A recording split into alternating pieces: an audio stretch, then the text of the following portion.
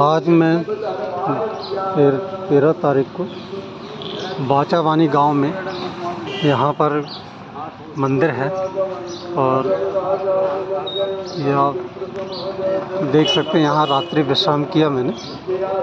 बहुत सेवा भावी लोग हैं, बहुत अच्छी सेवा की है।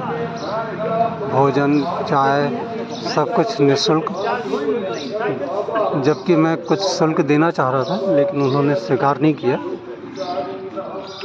और पूरा गाँव यहाँ नर्मदा परिक्रमा वासियों की सेवा करता है। इस गाँव का नाम बाचा वाणी गाँव है, होशंगाबाद ज़िले में। ये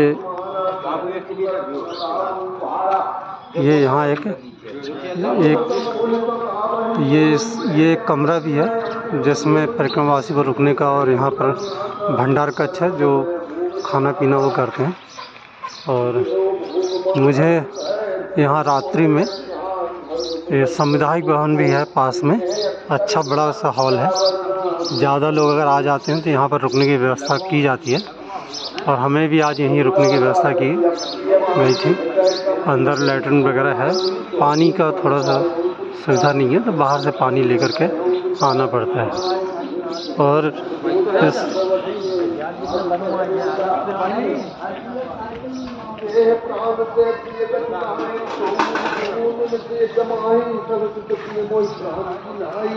और इस गाँव में ये एक हनुमान मंदिर है।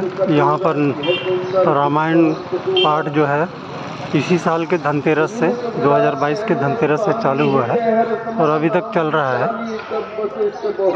और इस गाँव में एक और एक बहुत प्राचीन मंदिर है गणेश जी का। बहुत प्रसिद्ध है सिद्ध मंदिर है। और ये भी, भी यहाँ पर इस गाँव में देखने को मिलेगा आपको।